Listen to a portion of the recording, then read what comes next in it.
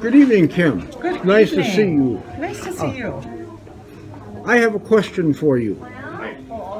What are you doing to encourage people to be on the ballot boards? Well, first of all, I want to tell people why the ballot board is important. How many of our votes were absentee ballot in 2020? Can you give me the percentage? It's somewhere in the range of 30 to 35 percent, I do believe. In 2020, 58% of the vote Whoa. by was by absentee. So six out of 10, ladies and gentlemen, of our votes in 2020 were by absentee ballot. And how do those ballots get counted? Well, they're on something called a ballot board or counted by people on a ballot board.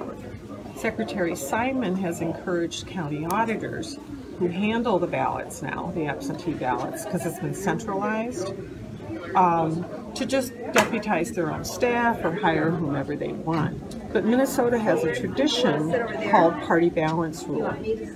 Just like when you go into a precinct on election night where you expect to see a Democrat and a Republican, right? To keep things honest and cricket.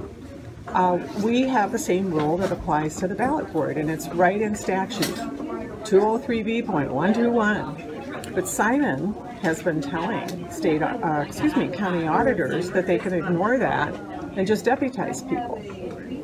So, what we're going to do as part of my campaign, and actually I've already been doing, is contact county auditors, contact, contact all the election officials, and say, we expect you to abide by the party balance rule. And the other great development is our new chair, uh, David Hann, has been already contacting the county auditors and telling them the same thing.